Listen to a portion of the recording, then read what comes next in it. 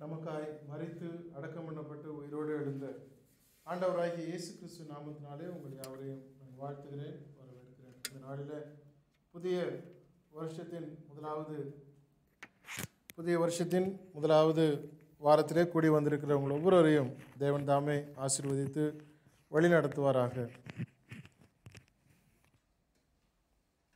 இந்த நாளின் செய்தியும் பிரசங்கியின் புஸ்தகத்தின் செய்தியும் ஓரளவு ஒரே சாராம்சம் உடையதாய் இருக்கிறது என்று நான் சொல்ல முடியும்.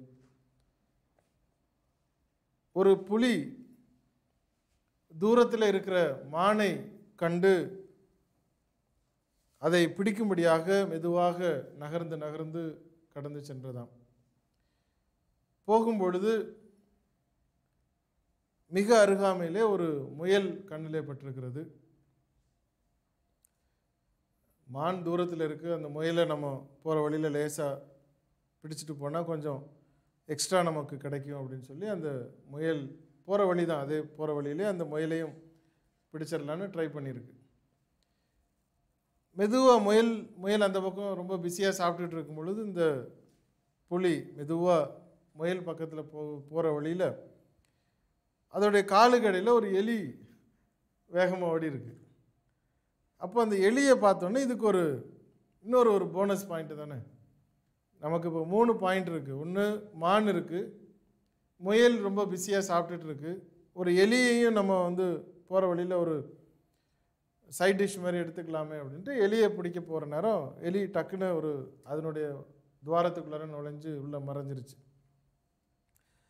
அதை வேகமாக பிடிக்க போன அந்த புலி அந்த சப்தத்தில் தூரத்தில் நின்ற முயல் உஷாராகி ஓடிருச்சு. முயல் ஓடின வேகத்தில் மான் இதை கண்டுபிடிச்சி மானும் எஸ்கேப் ஆயிடுச்சு இப்போ நடந்தது என்ன? எலியும் கிடைக்கல முயலும் கிடைக்கல மானும் கிடைக்கல மூணும் போனது. என்ன நடக்குது நம்முடைய வாழ்க்கையிலையும்? அநேக நேரங்களில் நாம் பலவிதமான நோக்கங்களை கொண்டு பயணம் செய்வதனால் பலவிதமான நோக்கங்களை கொண்டு பயணம் செய்வதனால் எல்கையை மறந்து விடுகிறோம்.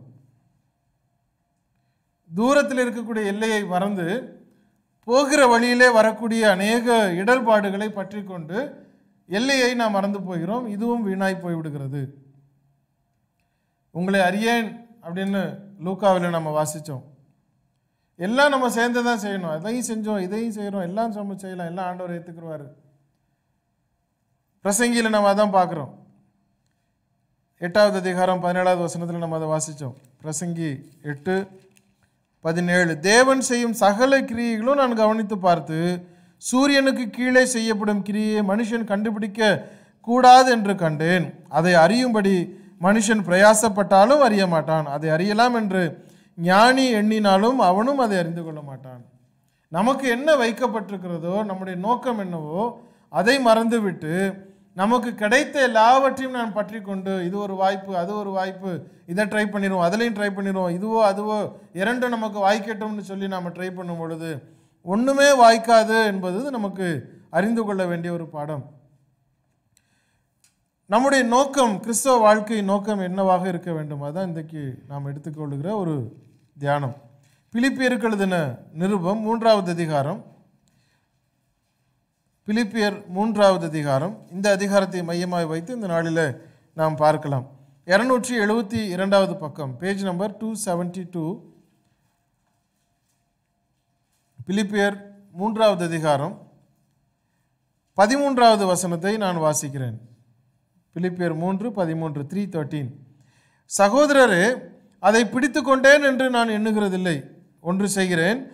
பின்னானவைகளை மறந்து முன்னானவைகளை நாடி கிறிஸ்து இயேசுவுக்குள் தேவன் அழைத்த பரம அழைப்பின் பந்தய பொருளுக்காக லக்கை நோக்கி தொடருகிறேன். இந்த ஒரு வசனத்தில் எத்தனை காரியங்களை பவுல் தன்னை குறித்து வெளிப்படுத்துகிறார் என்பதை நாம் அறிய வேண்டும். தன்னுடைய வாழ்க்கையிலே அவர் கண்டுகொண்ட ஏராளமான காரியம் ஒரு அப்போஸ்தலன் அநேக வல்லமைகளை உடையவர் அற்புதங்களை செய்தவர் தன்னுடைய ஊழிய நாட்களிலே அதிக விதமான எழுத்துக்களை எழுதி ஊழியங்களிலே பங்கெடுத்தவர். இந்த நிருபம் எழுதப்பட்ட பொழுது ஏறத்தாழ அறுபத்தி நான்காவது கிபியிலே எழுதுகிறார்.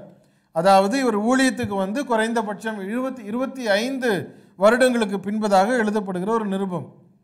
அவர் என்ன சொல்கிறார் பாருங்கள் பதிமூன்று ப பதிமூன்றாவது வசனம் அதை பிடித்து கொண்டேன் என்று நான் எண்ணுகிறதில்லை ஒன்று செய்கிறேன் பின்னானவைகளை மறந்து முன்னானவைகளை நாடி கிறிஸ்து இயேசுவுக்குள் தேவன் அழைத்த பரம அழைப்பின் பந்தய பொருளுக்காக லக்கை நோக்கி தொடருகிறேன். அவர் எத்தனை செய்கிறாராம்?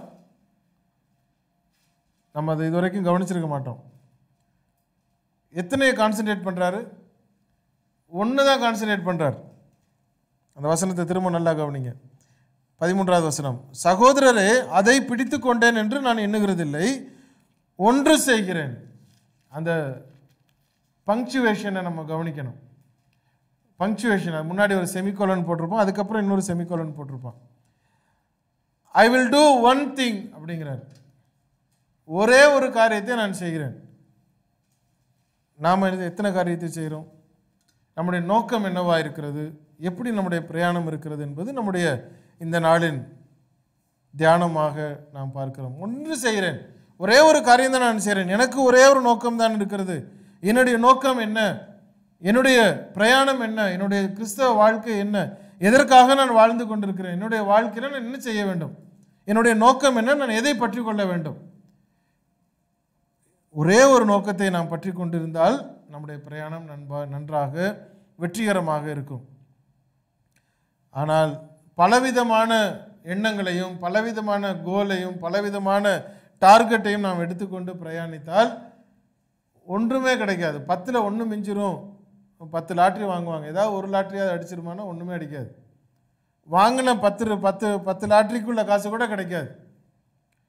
எல்லாமே வீணாக போகும். ஏதாவது ஒன்று ஒரு காரியத்தை டார்கெட் பண்ணும் பொழுது தான் அது மிக சக்சஸ்ஃபுல்லாக இருக்கிறது என்பது வேதாகமத்தின் ஒரு பார்வையாக இருக்கிறது. அவர் என்ன சொல்லுகிறார்? பிலிப்பியர் மூன்று பத்து பதினொன்றை வாசிக்கிறேன். வாசிங்க யாராவது பத்து பதினொன்று இப்படி நான் அவரையும் அவருடைய உயிர்த்தெழுதலின் வல்லமையும் அவருடைய பாடுகளின் ஐக்கியத்தையும் அறிகிறதற்கும் அவருடைய மன மரணத்துக்கொப்பான மரணத்துக்குள் மரணத்துக்குள்ளாகி எப்படியாயினும் நான் மரித்தோரிலிருந்து உயிரோடு எழுந்திருப்பதற்கு தகுதியா தகுதியாகும்படிக்கும் அவருக்காக எல்லாவற்றையும் நஷ்டமென்று விட்டேன் உபயமாக எண்ணுகிறேன் என்ன அந்த ஒன்றா what is that particular target பத்தாவது வசனம் என்ன சொல்லுது? இப்படி நான் அவரையும் அவருடைய உயிர்த்தெழுதலின் வல்லமையையும் அவருடைய பாடுகளின் ஐக்கியத்தையும் அறிகிறது. அவருடைய நோக்கம் என்ன? இயேசு யாருன்னு அறிஞ்சு கொள்ளணும். இயேசுவினுடைய உயிர்த்தெழுதலின் வல்லமை எப்படிங்கிறத அறிந்து கொள்ளணும். எப்படி அவர் உயிர்த்தெழுந்தார்? அதை அறிந்து கொள்ளணும். மூன்றாவது அவர் பாடுபட்ட அந்த பாடுகளிலே நானும் சேர்க்கப்பட வேண்டும். அவ்வளோதான் அவரோட ஒரே நோக்கம். ஒரே நோக்கம் இயேசு கிறிஸ்து தான் அந்த இயேசு கிறிஸ்து முதலாவது யார் இயேசு கிறிஸ்துன்னு முதல்ல அவர் இன்னும் அறிஞ்சு கொள்ளணுமாம் இருபத்தி ஐந்து வருடங்களுக்கு ஊழியங்களுக்கு பின்னதாக அவர் சொல்லுகிறார் நான் அவரை அறிய வேண்டும். அவரை நான் எப்படி அறிந்து கொள்வது? பவுலுக்கு வந்து அவரை தெரியாமல் இருந்திருக்குமா? பவுலுக்கு வந்து இயேசு கிறிஸ்து யாருன்னு தெரியாமலே அவர் அப்போ அப்போஸ்தலனானார்? நிச்சயமாக அவருக்கு தெரியும். ஆனால் என்ன விதமாக நாம் அறிந்திருக்கிறோம்? இன்னமும் இன்றைக்கு வரைக்கும் இன்றைக்கு வரைக்கும் இந்த நிருபங்கள் எழுதப்பட்ட பவுல் கையினாலே எழுதப்பட்ட இந்த பதிமூன்று நிருபங்களிலும் என்ன ஃபோக்கஸ் பண்ணப்பட்டிருக்கிறது? ஒரு ஈகிள் ஐ ஈகிள் வியூ அந்த பதிமூன்று நிருபத்தையும் ஒரு கழுகு பார்வையிலே பார்த்தால் இயேசு தேவனுடைய குமாரன் அப்படிங்கிறத நிரூபிக்கிறார். நியாயப்பிரமாணம் முடித்து வைத்தவர் என்பதை நிரூபிக்கிறார். இயேசுவின் பிரமாணத்துக்குள்ளே நாம் இருக்கிறோம் என்பதை நிரூபிக்கிறார். இவ்வளோதான் அவருடைய அந்த பதிமூன்று நிருபங்கள் அல்லது புதிய ஏற்பாடு முழுக்க அப்போச நடவடிக்கைகளிலிருந்து யூதா வரைக்கும் நீங்கள் அதை பார்க்கும் பொழுது அவர்கள் சொல்ல வருகிற அத்தனை கருத்துமே அத்தனை கருத்துமே முழுக்க முழுக்க முழுக்க நியாயப்பிரமாணம் முடிந்து போனது. நாம் புதிய பிரமாணத்தில் இருக்கிறோம். நாம் கிறிஸ்துவின் பிரமாணத்தில் இருக்கிறோம். கிறிஸ்துவ தேவனுடைய குமாரனாக இருக்கிறார் நாம் பிதாவை நோக்கி நாம் ஜெபிக்கிறோம். நாம் பிதாவினிடத்துக்கு நாம் பிரயாணிக்கிறோம். இதை வலியுறுத்துகிறது தான் இந்த நிருபங்கள் அத்தனை நிருபங்களும். அப்போஸ் நடவடிக்கைகளிலிருந்து யூதா வரைக்கும். வெளிப்படுத்தின விசேஷம் வரும்பொழுது இயேசு கிறிஸ்து ராஜாவாக இருக்கிறார். அவர் வீ வீற்று ஆளுகிறார் அரசாளுகிறார் அவர் அரசாளுகிற ராஜாதி ராஜாவாக இருக்கிறார் என்பதை அது வெளிப்படுத்துகிற ஒரு புஸ்தகமாக அது சாராம்சமாய் வருகிறது. அப்போ இயேசு கிறிஸ்துவனுடைய வருகையை பிறந்த நோக்கத்தை அந்த காலத்தில் எப்படி அறியாமல் இருந்தார்களோ இன்றைக்கு வரைக்கும் அந்த பாணி ஓடிக்கொண்டே தான் இருக்கிறது. இயேசுவை நாம் எப்படி அறிந்திருக்கிறோம்? இயேசுவை நாம் என்னென்ன அறிந்திருக்கிறோம்? அவர் கர்த்தர் ஆண்டவர் ரட்சகர் மேசியா என்னென்ன நாம் அறிந்திருக்கிறோம்? அதை எந்த வகையிலுமே நாம் அதை சரியாக புரிந்து கொள்ளாமல் நமக்கு இஷ்டமானதுபடி அல்லது நமக்கு பிடித்ததுபடி இயேசுவை நாம் பேசிக்கொண்டே இருக்கிறோமா? இயேசு யார் என்பதை ஊர்ஜிதமாக நாம் சொல்ல முடியுமா? இன்னைக்கு ஒரு பேப்பரை கொடுத்து அஞ்சு பேர்கிட்டையும் உட்கார்ந்துருக்கிற ஒரு ரூமில் ஒரு இருபது பேர் இருக்கிறாங்கன்னா இருபது பேர்கிட்டையும் இன்னும் இருபது விசுவாசிகளை விடுங்க. இருபது ஊழியக்காரர்கிட்ட பேப்பர் எடுத்து கொடுத்து இயேசு யார்? அப்படின்னு ஒரு கேள்வி மாத்திரம் கேட்டு அவங்களுக்கு அனுப்பிவிடுங்க இருபது பதில் வரும். ஒருத்தர் இயேசு அப்பா அப்படின்வாரு ஒருத்தர் இயேசு ஆண்டவர்பாரு ஒருத்தர் இயேசு ரட்சகர்பாரு இயேசு வந்து ராஜாம்பாரு ஆளாளுக்கு ஒன்று எது கரெக்டு அப்படின்னா ஒரு டவுட் வரும். இப்போ அவரை நான் எப்படி அறிந்திருக்கிறேன்? எல்லா வார்த்தையும் சொல்லி சொல்லி சொல்லி சொல்லி கடைசியாக இயேசு கிறிஸ்து நாமத்தினாலே ஜெபிக்கிறேன் பிதாவேன்னு முடிச்சிடுறது. அப்போ யாருக்கிட்ட நம்ம இதுவரையும் ஜெபித்தோம் யாரை பார்த்து நாம் ஜெபிக்கிறோம்? யார் மூலமாக ஜெபிக்கிறோம்? இயேசு யார்? இதெல்லாம் நாம் அறிந்திருக்கிறோமா? பவுல் கேட்குறாரு அவரை அறிகிற அறிவிலே நான் இன்னும் வளர வேண்டும். அதே கேள்வி இன்னைக்கு நீங்களும் நானும் கேட்டுக்கொண்டால் நீங்களும் நானும் அவரை எப்படி அறிந்திருக்கிறோம்? அவரை யார் என்று அறிந்திருக்கிறோம்? அந்த கேள்வி நமக்கு அவசியமான நம்முடைய வாழ்க்கையில் அவசியம்.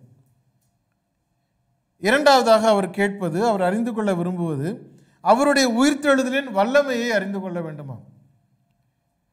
இந்த இந்த பகுதியில் மூன்று பிரதானமான தலைப்புகள். முதலாவது ஒரு யாரை அவர் ஃபோக்கஸ் பண்ணுகிறார்? அதாவது ஒரு மனிதனை அல்லது ஒருவரை ஒருவரை அவர் ஃபோக்கஸ் பண்ணுகிறார். அவர் யார் என்று அறிந்து கொள்ள வேண்டும். அவர் எப்படிப்பட்டவர் என்று அறிந்து கொள்ள வேண்டும். அவர் தேவனுடைய குமாரன் அவர் தேவன் அவர் ஆண்டவர் அவர் மேசியா அவர் கர்த்தர் அவர் ராஜா நம்மை ரட்சிக்க வந்தவர் நாம் அவரை அறிந்திருக்கிறோம். ஆனால் நம்முடைய வேகத்தில் வேக வேகமாக ஜெபிக்கும் பொழுது நம்ம யாருக்கிட்ட ஜெபிக்கிறோம்? எப்படி ஜெபிக்கிறோம்? அப்படிங்கிறதெல்லாம் நம்ம மறந்துட்டு பிதாவானவரே எங்களுக்காக மறித்தீர்னு சொல்லி அவரே நம்ம சொல்லிடுறது.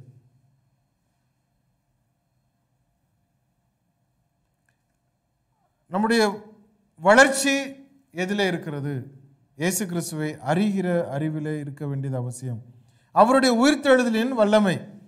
அப்போ இயேசுவை நான் அறியும் பொழுது அவர் எப்படி உயிர்த்தெழுந்தார்? அவருடைய வல்லமை என்ன என்பதை நான் அறிய வேண்டும். எப்படி அவர் உயிர்த்தெழுந்தால் அவர் தான் ஆவியை கொடுத்தார். என் ஆவியை எடுத்துக்கொள்ளும்னு பிதாவுக்கிட்ட கொடுக்குறார். அப்போ அவரே அவர் ஆவி எடுத்து அவரே பேக்கெட்டில் வச்சுக்கிடுவாரா? பிதாவே உம்மிடத்தில் என் ஆவியை ஒப்பு கொடுக்கிறேன் அப்படிங்கிறாரு. அந்த பிதா தான் இயேசு கிறிஸ்து மறுபடியுமாக எழுப்புகிறார். அவருடைய வல்லமை என்னவா இருக்கிறது? எப்படி இயேசு கிறிஸ்து இதை செய்கிறார் என்பதை அறிந்து கொள்வதற்கு அவர் அதை முயற்சிக்கிறேன் என்று சொல்கிறார். ஒன்று செய்கிறேன். அந்த வார்த்தையை திரும்ப கவனிங்க. சகோதரரே அதை பிடித்து கொண்டேன் என்று நான் எண்ணுகிறதில்லை. இவ்வளோ நாள் நான் ஊழியம் பண்ணேன். ஆனாலும் நான் அதெல்லாம் ஓரமாக வச்சிடுறேன். ஒன்று செய்கிறேன். எனக்கு எல்லாம் வேண்டியதெல்லாம் ஒன்றே ஒன்று தான் எனக்கு இலக்கை நோக்கி நான் தொடரணும். என்னுடைய டார்கெட் என்ன? இந்த புலி மானை பிடிக்க போதுன்னா மானு மாத்திரம்தான் கண்ணில் படணும்.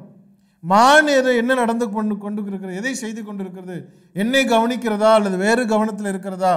அவ்வளோதான் நான் இயேசுவை பின்பற்ற வேண்டும் என்றால் இயேசுவை நான் முழுவதுமாய் அறிந்து கொள்ள வேண்டும். இயேசுவை விட்டுட்டு நம்ம எல்லாம் நம்ம பாஸ்டரை பார்த்துக்கணும் ரெவரண்டை பார்த்துக்கணும் நம்ம குருவையாவை பார்த்துக்கணும் பிஷப்பை பார்த்துக்கணும் ஊழியக்காரங்களை பார்த்துக்கணும். எல்லாரையும் நமக்கு கவனிக்கணும். இவங்கள விட்டுறக்கூடாது அவங்கள விட்டுறக்கூடாது. எல்லாரையும் நம்ம சாட்டிஸ்ஃபை பண்ணலைன்னா நம்ம வாழ்க்கை கெட்டு போயிடும்னு நினச்சி குற்றவாளியாக நம்ம குற்ற உணர்வு பெற்று அத்தனை பேருக்கும் காலையிலேருந்து நைட் வரைக்கும் எல்லாருக்கும் ஒரு சலாம் போட்டுட்டு வாழ்க்கையை ஓட்டி கடைசியாக இயேசுவை மறந்துடுறது. இயேசு கிறிஸ்து சொன்ன உபதேசத்தை மறந்துவிட்டு ஊரில் உள்ள எல்லாருக்கும் நம்ம முக்கியத்துவம் கொடுத்தால் நம்முடைய டார்கெட்டை நாம் இழந்து விடுகிறோம். பவுல போசலன் சொல்கிறாரு நான் ஒன்று செய்கிறேன். என்னுடைய இலக்கு மாத்திரம்தான் எனக்கு அவசியம். என்னுடைய இலக்கு என்ன? நான் பிரசங்கம் பண்ணணும். என்னுடைய இலக்கு என்ன? நான் ஊரெல்லாம் சுற்றணும் என்னோடய இலக்கு என்னென்னா எல்லாருக்கும் போய் நான் அற்புதங்கள் செய்யணும். என்னுடைய இலக்கு என்னென்னா நான் போய் ஒவ்வொரு மேடையாக ஏறி எல்லாரையும் நான் வந்து என்னுடைய வல்லமையை காட்டி என்னுடைய பவரை நான் காட்டணும் அப்படின்லாம் அவர் நினைக்கல. அவர் நினைக்கிற இருபத்தி ஐந்து ஏறத்தாழ இருபத்தி ஐந்து வருடங்களுக்கு பின்னதாக அவருடைய நோக்கம் என்ன? நான் இயேசுவை அறிந்து கொள்ள வேண்டும். என்னுடைய இலக்கை நான் தொடரணும். அவ்வளோதான் என்னுடைய டார்கெட் நான் போகும் பொழுது நான் என்ன செய்து கொண்டிருக்கிறேன்? ஒரு ஒரு person my focus is on a particular person என்னுடைய கிறிஸ்தவ ஜீவியம் இயேசுவை அறிந்து கொள்ளுகிற ஜீவியமாய் இருக்க வேண்டும்.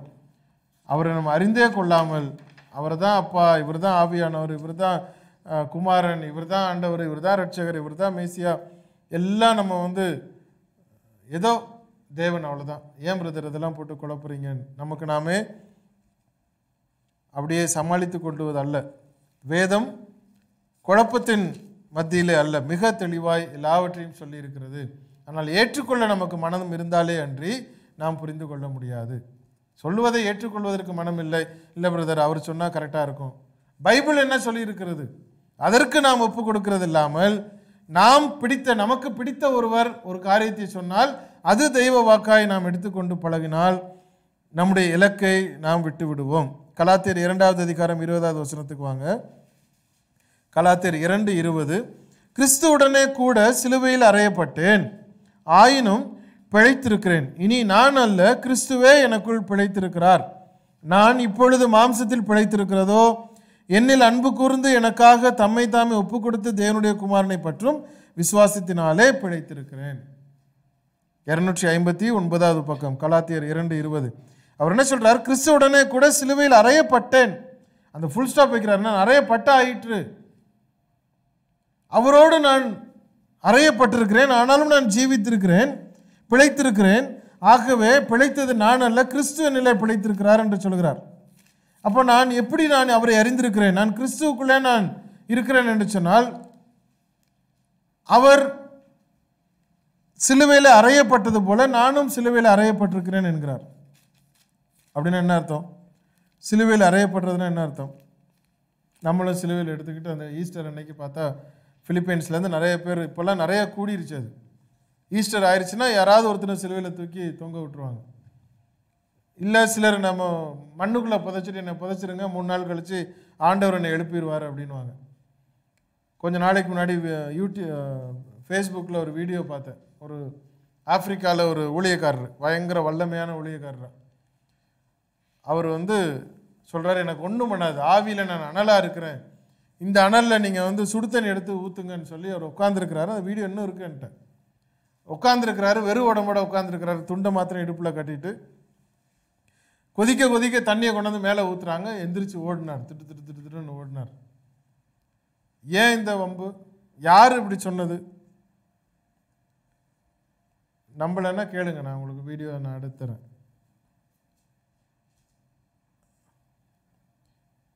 எதற்கு அற்புதம் எதற்கு வல்லமை என்பதை நாம் முதலாவது அறிய வேண்டும். வசனத்தை உறுதிப்படுத்துவதற்காக அற்புதங்களும் அடையாளங்களும் கொடுக்கப்பட்டது. சுடுத்தண்ணியை மேலே ஊற்றினா கொதிக்காதுன்னு ஆவியில் அனலாக இருக்கிறேன்னு அப்படி காட்டினா துண்டை காணன் துணியை காணன் பாடுகளின் ஐக்கியத்திலே அவர் போக வேண்டும் என்று சொல்லி சிலுவையிலே அறையப்பட்டேன் என்று சொல்கிறார். இப்போ சிலுவையிலே அறையப்படுவது என்றால் என்ன? இயேசு கிறிஸ்துவின் பாடுகளோடு நான் ஐக்கியப்படும் பொழுது இயேசு கிறிஸ்துவின் பாடுகளோடு நான் என்னை ஒப்பு கொடுக்கும் பொழுது அவர் என்னுடைய எனக்காக எவ்வளவு அவர் வேதனையை சகித்தார் என்பதை நான் உணர்ந்து கொள்ள முடியும். தலைவலி அவனவனுக்கு வந்தால் தான் அவனுக்கு தெரியும்னு சொல்லுவாங்க. ஆனால் தலைவலியை அனுபவித்தவர்களுக்கு போய் நீங்கள் எனக்கு தலைவலின்னு சொன்னால் ஐயோ அப்படின்னு அவங்க கரெக்டாக அதை புரிந்து கொள்வார்கள். ஏன்னா அது அவர்களும் பாடுபட்டதுனால. வயிற்று வலி தலைவலின்னு சொல்லி அவர்களுக்கு அவர்களும் அது வேதனை சகித்திருந்தால் அதே வேதனை மற்றவர்களுக்கு வரும் பொழுது ஐயோ ரொம்ப கஷ்டம். எனக்கு தெரியும். தாங்கவே முடியாது. இந்த பல்லு வலி சொல்லுவாங்க. உள்ளுக்குள்ளே குடஞ்சிக்கிட்டு இருக்கும். என்ன பண்ணுறேன்னு தெரியாது. குதிக்கணும். தலையில் ஓடணும். சுடு தண்ணி அள்ளி குளிக்கணும். உப்பு தண்ணி எழுதி கொப்பளிக்கணும் என்ன செய்தாலும் அது வேதனை வேதனைன்னு அந்த வேதனையை புரிந்து கொள்ள முடிகிறது. அப்போ பயங்கரமான வேதனை அப்படின்னு ஒருத்தர் சொன்னாருன்னா அந்த பயங்கரமான வேதனையை அனுபவித்தவர்களுக்கு அந்த வேதனையினுடைய பாடு என்னன்னு புரியும். அப்போ நான் சிலுவையில் அறையப்பட்டிருந்தால் அப்படின்னா என்ன அர்த்தம்? இயேசுவோடு நான் சிலுவையில் அறையப்பட்டவனாக இருந்தால் இயேசு எனக்காக எந்த அளவிற்கு அவர் பாடுகளை சகித்தார் என்கிற அந்த பாடை என்னால் உணர முடியும். பிள்ளைங்க இன்னைக்கு படித்த அந்த வசனத்தில் இயேசு வந்து அரைகிறாங்க கன்னத்தில் அரைஞ்ச உடனே அப்போது அவர் கேட்குறாரு என்னத்துக்கு நீ அரைகிற நான் தப்பு பண்ணால் தப்பு என்னன்னு சொல்லு. இல்லைன்னா வந்து என்னை அரையாதுன்னு சொல்கிறார் நம்ம யாராவது அரைந்திருந்த பத்து பேருக்கு முன்னாடி இரநூறு பேர் உட்காந்துருக்குறாங்க அந்த இரநூறு பேர் இது வரைக்கும் நம்மளை பெரிய மேனேஜரு பெரிய ஓனரு பெரிய ஒரு இன்ஜினியர்னு சொல்லி நம்மளை மதி மதிப்பு கொடுத்துக்கிட்டு இருந்த ஒரு கூட்டத்துக்கு நடுவில் ஒருத்தர் வந்து திடீர்னு பலார்னு கன்னத்தில் அரைஞ்சா நமக்கு எவ்வளோ அவமானமாக இருக்கும்? ஒரு அவமானத்தை அவர் நமக்காக பட்டார் யாருக்காக அவர் நினச்சிருந்தா ம வானத்திலிருந்து பனிரெண்டு லேகியோன் தூதர்களை கொண்டு வந்திருக்க முடியும். ஆனால் பொறுத்திருந்து தேவனானவர் நம்முடைய பாவத்திற்காக அந்த அவமானத்தை ஏற்றுக்கொள்ளுகிறார். நமக்கு ஒரு சின்ன விஷயம் நம்ம ஏற்கனவே நம்ம அவ்வளவு பாவம் செய்து தேவனுக்கு விரோதமான காரியங்களில் இருந்தவர்களை நமக்கு ஒருத்தன் அறையும் பொழுது ஒருவேளை தவறு செய்து நாம் ஒரு அறையை வாங்கினால் அது எவ்வளோ அவமானமாக இருக்கும். ஆனால் இயேசு கிறிஸ்து ஒரு அறையை வாங்கினார். அறையை மாத்திரமா வாங்கினார். அவரை முதுகலை போட்டு அடித்தார்கள் தலையில் முள் முட்கிரீடம் வைத்து அடித்தார்கள். ரத்தம் சொட்ட சொட்ட வருகிறது. நமக்கு லேசாக பிளேடு கீறின உடனே கதறோம் ஐயோ ஐயோ. ஆனால் அவர் உடம்பு ஃபுல்லாக அவருக்கு ரத்தம். அடி அடின்னு அடித்து அவமானப்படுத்தி அவரை சின்னாபின்னமாக்கி பவுல் சொல்றாரு நான் பாடுகளின் ஐக்கியம். அந்த பாடுகளோடு நான் ஐக்கியப்படும் பொழுது நான் இன்னும் அப்படி வேதனைப்படவில்லையே அப்படின்னு நம்ம நினைப்போம். ஏசு கிறிஸ்து எவ்வளோ வேதனைப்பட்டார். எனக்கு என்ன நாலு பேர் என்னை அசிங்கமாக பேசுகிறாங்க பேசிட்டு போட்டோம் நான் உண்மையாக இருக்கிறேன். நான் உத்தமமாக இருக்கிறேன். நான் தேவனுடைய வார்த்தையின்படி நடக்கிறேன். ஆனால் பொய் கதைகளையும் அவர்கள் பிணைத்து பிணைத்து என்னை அவமானப்படுத்துகிறார்கள்னா பண்ணிட்டு போட்டோம் ஏன்னா இதெல்லாம் ஒன்றுமே இல்லை இயேசு கிறிஸ்துக்கு முன்னாடி. இயேசு கிறிஸ்து எனக்காக எவ்வளவு பாடுபட்டார். நான் ரட்சிப்புக்கு போகணும்னு சொல்லி அவர் எனக்காக பாடுபட்டார். சிலுவையில் தொங்குனாரு. ஆணியில் அடித்து தொங்க விட்டாங்களே. ஊர் முழுக்க தொங்குனுச்சு. நான் என்ன பாடுபட்டேன். நாலு பேர் திட்டுனாங்க எனக்கு அது சங்கடமாக இருக்கா? என்னை அங்கீகரிக்கலை அதனால் எனக்கு சங்கடமாக இருக்கா? என்னை அவமானப்படுத்தினாங்க அதனால் எனக்கு சங்கடமாக இருக்கா? நம்ம துக்கப்படுறோம் அப்படின்னா என்ன அர்த்தம்? சிலுவையில் நாம் அறையப்படவில்லை என்ற அர்த்தம். இந்த பாடுகளின் ஐக்கியத்துக்குள்ளே நாம் போகவில்லை என்ற அர்த்தம்.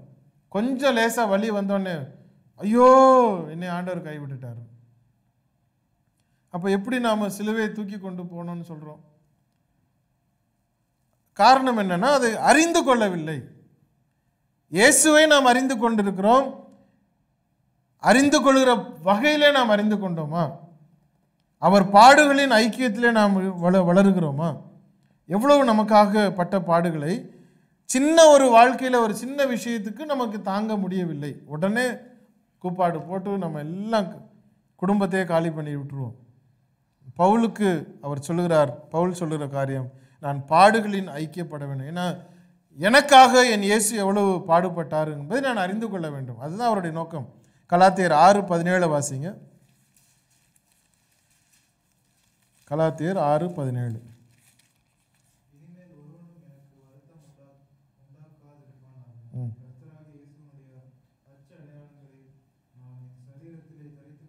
பாருங்க கர்த்தராகி இயேசுவினுடைய அச்சு அடையாளங்களை அச்சு அடையாளங்கள்னா அந்த மார்க்ஸ் இருக்குதான்.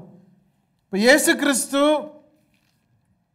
தலையிலிருந்து கால் வரைக்கும் அவர் முழுவதுமாய் அடிக்கப்பட்டு கீறப்பட்டு ரத்தம் சிந்தி அவ்வளவு புண்களாக தொங்கிக் கொண்டிருந்த அந்த வெயிலில் தொங்க விட்டாங்க. அந்த அதாவது சொல்லுவாங்க கோபத்தில் உன்னை தோல் உரிச்சு வெயிலில் காய போட்டுருவேன்.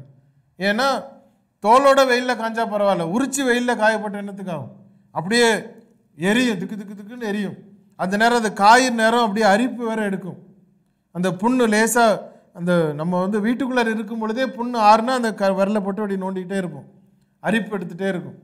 இவரை வந்து நைட்டு ஃபுல்லாக அவரை அடித்து ரத்தம் சிந்தி காயப்பட்டு இப்போ சரீரமெல்லாம் பிளந்து கிடக்கிறது. அவரை கொண்டு போய் வெயிலில் தொங்க விடுறாங்க சிலுவையில். இரண்டு கையும் மாட்டப்பட்டிருக்கும் பொழுது வெயிலில் அந்த சரீரத்தில் எவ்வளவு வேதனைகள் இருந்திருக்கும்?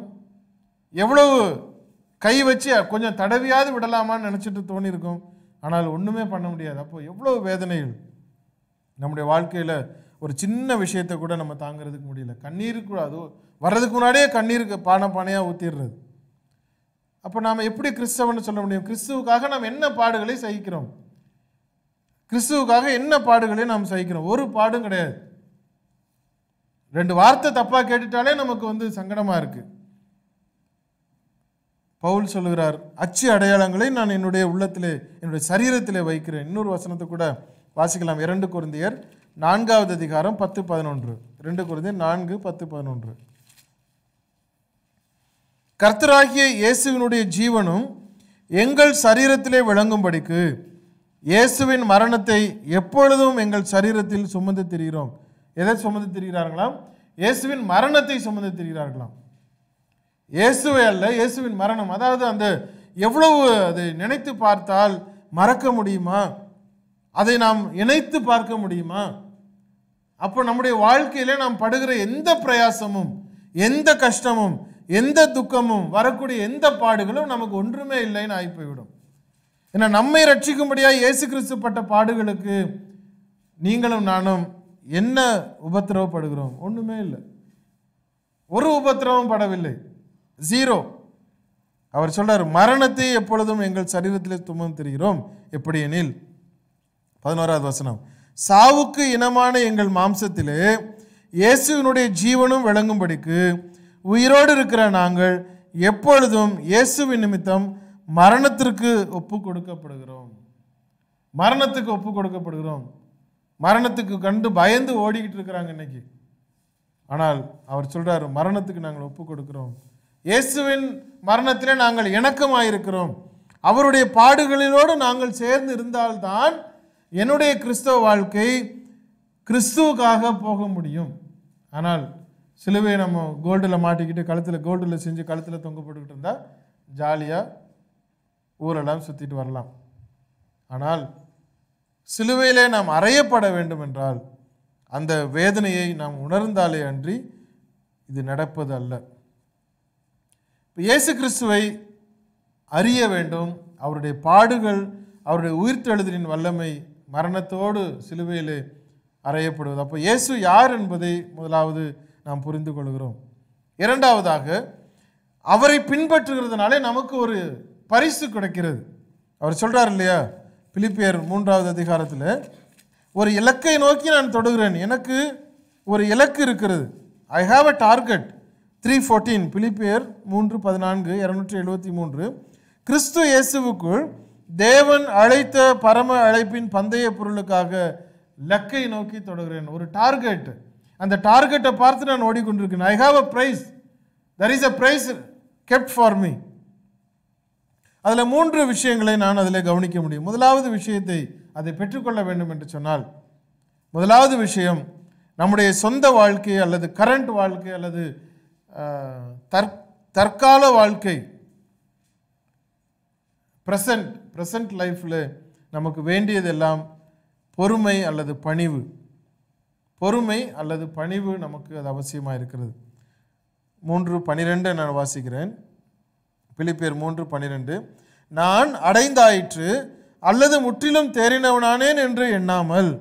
எப்போ? இருபத்தஞ்சி வருஷம் ஊழியத்தில் அதுக்கப்புறம் அவர் சொல்கிறார் நான் அடைந்தாயிற்று அல்லது முற்றிலும் தேறினவனானேன் என்று எண்ணாமல் கிறிஸ்து இயேசுவினால் நான் எதற்காக பிடிக்கப்பட்டேனோ அதை பிடித்து கொள்ளும்படி ஆசையாய் தொடருகிறேன்.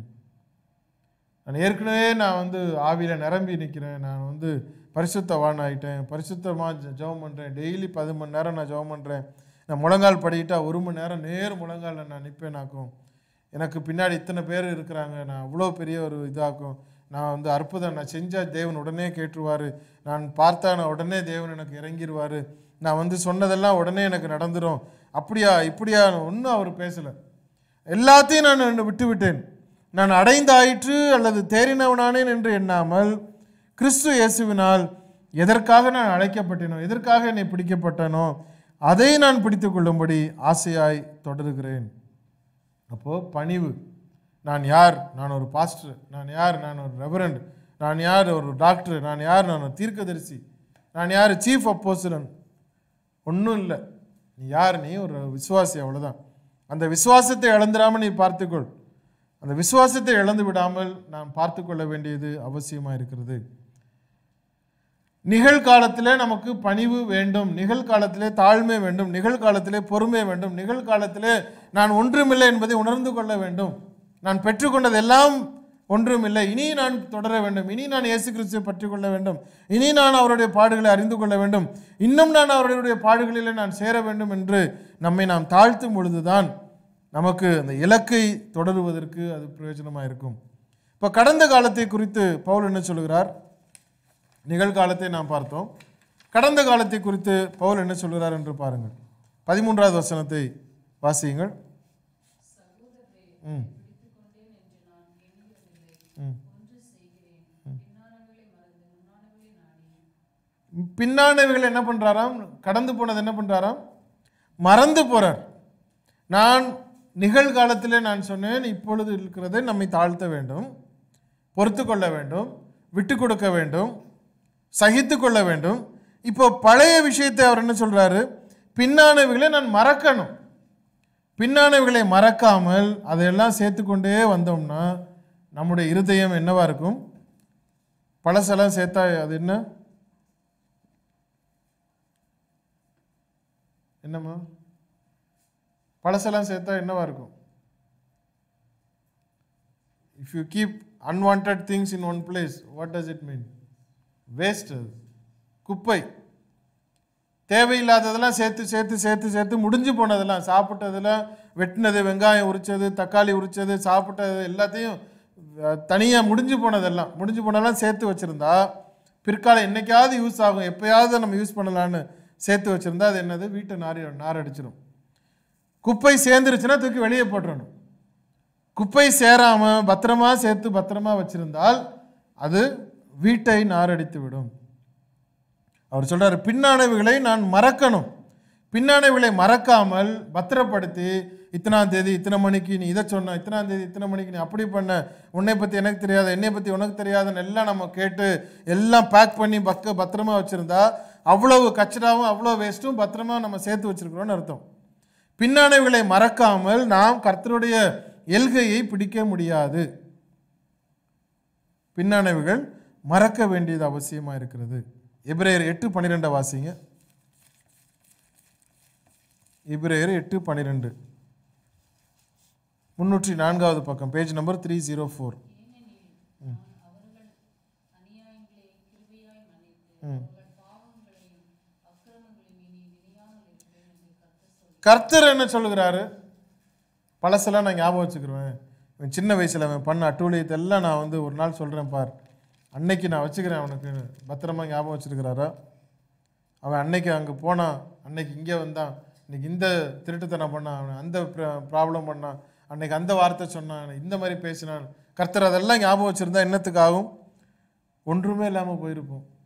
அவர் என்ன சொல்கிறாரு நான் அவர்கள் அதிக அநியாயங்களை கிருபையாய் மன்னித்து அவர்கள் பாவங்களையும் அக்கிரமங்களையும் இனி நினையாமல் இருப்பேன். சங்கீதம் நூற்றி மூன்றாவது அதிகாரத்தில் நம்ம பார்க்குறோம். கிழக்குக்கும் மேற்குக்கும் எவ்வளவு தூரமோ நம்முடைய பாவங்களை அவ்வளவு தூரமாய் நம்மை விட்டு விலக்கினார் என்று சொல்லுகிறார். இப்போ கிழக்குக்கும் மேற்குக்கும் அவ்வளவு தூரமாக என்னுடைய பாவங்களை அவர் விட்டு விட்டார் என்று சொல்லுகிறவர் பழைய காரியங்களை நான் நினையாமல் இருப்பேன் என்று சொல்லுகிறவர் நாம மாத்திரம் இயேசு கிறிஸ்துவை தொழுது கொள்கிறேன் தேவனை தொழுது கொள்கிறேன் என்று சொல்லிக்கொண்டு எல்லா பழைவைகளையும் நம்முடைய இருதயத்துக்குள்ளே சேர்த்து வைத்திருந்தால் பரிசுத்த ஆவியானவருக்கு அங்கே எங்கே இடம் இருக்கும்? வீட்டுக்குள்ளே நம்ம நுழைய முடியுமா? வீடு நாறுனுச்சுன்னா? வீட்டுக்குள்ளே குப்பை உள்ளே வந்து நான் குப்புன்னு நாறுது. ஐயோ முதல்ல அதை கொண்டு வெளியே போடு. அப்புறம் தான் நான் வீட்டுக்குள்ளே வரும் ஜன்னல்லாம் திறந்து எல்லாம் நல்ல காற்று உள்ளே வரட்டும். ஃப்ரெஷ் ஏர் உள்ளே வரட்டும். நம்ம இருதயம் அப்படித்தானே?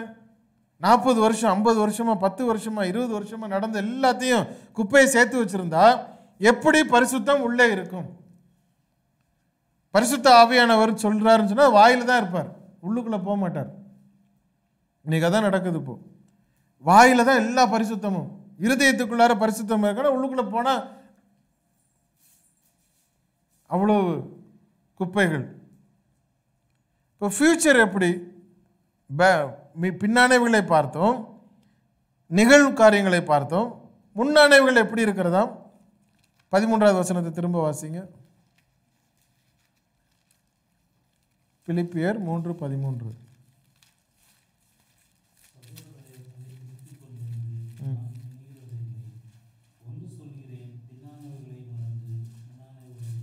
பின்னானவைகளை மரம் ஒன்று செய்கிறேன். அதாவது அவர் டார்கெட் ஒன்று தான் அது ஏசு கிறிஸ்து ஏசு கிறிஸ்துனுடைய ஏசு கிறிஸ்துவை நான் அறியணும் அதே ஏசு கிறிஸ்துவனுடைய பாடுகளை அறியணும் அதே ஏசு கிறிஸ்துவனுடைய வல்லமை என்னென்னு அறிந்து கொள்ளணும். இப்போது பர்சனலாக நான் என்னை தாழ்த்த வேண்டும் நிகழ்காலத்தில் பின்னானவைகளை நான் மறக்க வேண்டும். முன்னானவைகளை என்ன பண்ணணுமா? நான் நாட வேண்டும். ஐ சீக் நான் முன்னானவைகள் என்ன என்னன்னு சொல்லி நான் தெரிந்து கொள்ள வேண்டும் அறிந்து கொள்ள வேண்டும். நான் அதை அதிகமாய் நான் அறிந்து கொள்ள வேண்டும். கிறிஸ்துவை குறித்து நான் அதிகமாய் நான் ஆராய வேண்டும். அதிகமாய் அதிகமாய் நான் முன்னேற்றம் அடையாமல் இருந்து கொள்ள முடியும் இருந்து இருக்கிற இடத்திலே நாம் உட்கார்ந்திருந்தோம் என்றால் ஒன்றும் நடக்காது. நான் வளர வேண்டும். எதில் வளருகிறோம் வசனத்தில் வளருகிறோம் கிருபையில் வளருகிறோம் ஜபத்திலே வளருகிறோம் ஊழியத்தில் வளருகிறோம் எல்லாவற்றிலும் நான் வளர வேண்டும். வளராமல் அப்படியே உட்காந்துக்கிட்டு இதுக்கு போதும்னு இருந்திருந்தால் ஒன்றும் நடக்காது. அது பிரயோஜனம் இல்லாமல் வாழ்க்கை வீணாக போய்விடுகிறது. ஒரு வசனத்தை வாசிங்க. இரண்டு தீமத்தையும் நான்காவது அதிகாரம் ஏழு எட்டு. ரெண்டு தீமத்தையும் நான்கு ஏழு எட்டு. பவுல் சொல்கிறார் நல்ல போராட்டத்தை போராடினேன் ஓட்டத்தை முடித்தேன் விசுவாசத்தை காத்துக்கொண்டேன். இது முதல் நீதியின் கிரீடம் எனக்காக வைக்க அப்போ கூட சொல்கிறார் இன்னும் அவர் தேடுறார். இன்னும் எனக்கு நீதியின் கிரீடம் வைக்கப்பட்டிருக்கிறது. நீதியுள்ள நியாயாதிபதியாகிய கர்த்தர் அந்நாளில் அதை எனக்கு தந்தருளுவார். எனக்கு மாத்திரமல்ல அவர் பிரசன்னமாகுதலை விரும்பும் யாவருக்கும் அதை தந்தருளுவார். நம்முடைய நோக்கம் நம்முடைய எல்கை நம்முடைய டார்கெட் என்னவா இருக்கிறது? மூன்றாவது தலைப்பும் கடைசியுமாக பிலிப்பியர் மூன்றாவது அதிகாரம் பதினைந்து பதினாறு வாசியுங்கள். பிலிப்பியர் மூன்று ஃபிஃப்டீன் அண்ட் சிக்ஸ்டீன்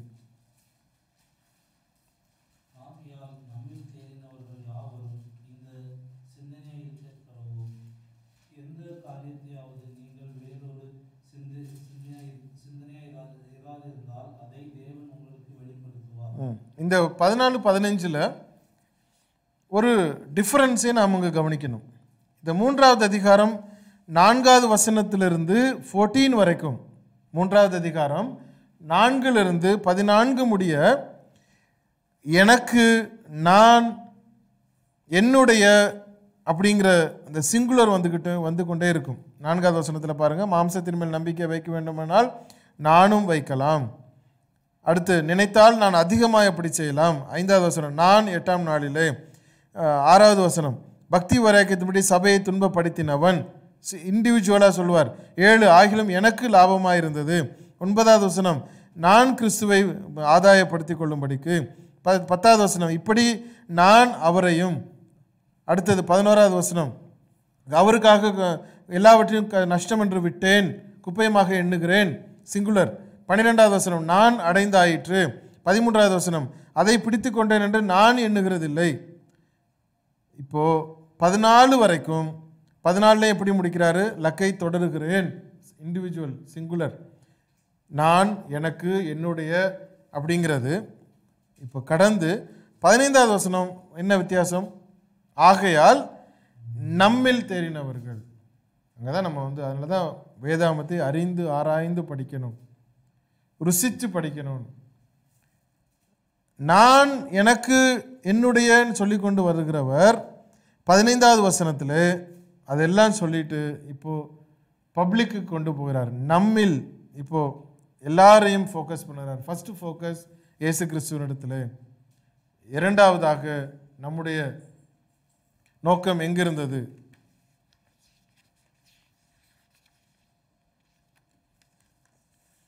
முதலாவது இயேசு கிறிஸ்துவை டார்கெட்.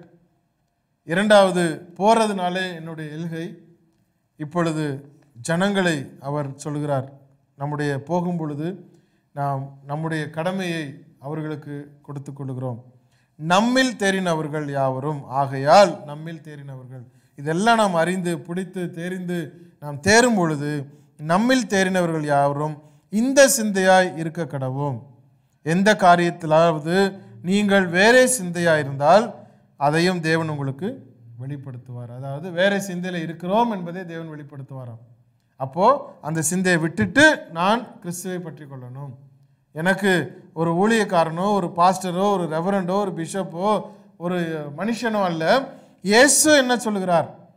அவர் சொல்லு மற்றவர்கள் சொல்லுகிறார் எல்லாம் வழி நடத்துகிறவர்கள் காண்பித்து கொடுப்பவர்கள். ஆனால் என்னுடைய டார்கெட் என்னவாக இருக்கணும்? பாடம் என்ன இருக்குது? நம்ம பள்ளிக்கூடத்துக்கு போகிறோம் பள்ளிக்கூடத்தில் வாத்தியார் சொல்லித்தரார் வாத்தியார் சொல்லித்தராருன்னு வாத்தியாரே நம்ம பிடிச்சிக்கிறோமா? பாடத்தை நம்ம படிக்கிறோம். படித்து முடிச்சாச்சு. அடுத்தது அடுத்த கிளாஸுக்கு இன்னொரு வாத்தியாரை பார்க்க போகிறோம் ஆனால் கிறிஸ்தவத்தில் மாத்திரம் என்ன நடக்குதுன்னா வாத்தியாரை பிடிச்சிக்கிறது பாடத்தை விட்டுறது. வாத்தியார் என்ன சொன்னாலும் அதுதான் தெய்வ வாக்கு. பாடத்தை ஓரமாக வச்சுருது எக்ஸாமில் ஃபெயில் பைபிளை விட்டுறது சத்தியத்தை பார்க்கறது இல்லை. பாடம் என்னமோ எடுக்கிறாரு. எங்கள் புக்கில் அந்த மாதிரி இல்லையே சார் அப்படின்னு போய் கேட்குறாங்க பிள்ளைங்க கேட்கும் சின்ன பிள்ளைங்க கேட்கும் லெசன் நம்பர் த்ரீ அப்படின்னு அவர் எழுதினார்னா ஃபண்டமெண்டல்ஸ் அப்படின்னா சார் இதில் இல்லை சார் அப்படின்னு உடனே கேட்பாங்க. நமக்கு கேட்க முடியாதுன்னா வாத்தியார் சொல்லிட்டார். அவர் சொல்லிட்டாருன்னா அப்படி தான் இருக்கணும். நம்ம கண்ணை மூடிக்கிட்டு ஆண்டவரே ஆண்டவரே ஆண்டவரே ஆண்டவரே அவ்வளோதான் ஒருவேளை நாம தான் சரியாக படிக்கலையோ அவர் கரெக்டாக சொல்லுவார். பாடத்தை கவனிப்பதல்ல வாத்தியாரை கவனிப்பது. கிறிஸ்தவத்தில் போதிக்கிறவர்களை கவனிக்கிறார்களே ஒழிய பாடத்தை வேதாமத்தை கவனிப்பதல்ல. அல்டிமேட்டாக ஃபெயில் எத்தனை தடவை பரீட்சை எழுதினாலும் ஏன்னா எழுதுறது நீங்களாக இருப்பீங்க திருத்துறது வேற ஒருத்தராக இருப்பார். அந்த வாத்தியார் இருக்க மாட்டார். இன்னொரு வாத்தியார் திருத்துவார் ஃபெயில் போட்டுருவார். நாம் எதை அறிந்து கொள்கிறோம்? இயேசு கிறிஸ்துவை அறிந்து கொள்கிற நம்முடைய நோக்கம். இந்த புது வருஷம் புதிய முதலாவது வாரத்தில் நாம் கேட்கிற அந்த செய்தி என்னுடைய டார்கெட் எது? What is my target? இயேசுவை இயேசுவை அறிகிற அறிவு நாம் அவருடைய பாடுகள் அதை நாம் பிடித்து கொள்ள வேண்டியது அவசியமாக இருக்கிறது அவரையும் அவருடைய உயிர்த்தெழுதலின் வல்லமையையும் பாடுகளின் ஐக்கியத்தையும் அதாவது அவரை நான் அறிந்து கொள்ள வேண்டும். அவ்வளோதான் Jesus is my target Jesus Christ is my target ஏசு கிறிஸ்து தான் என்னுடைய டார்கெட் தேவன் தாமே இந்த வார்த்தைகளை ஆசீர்வதிப்பாராக.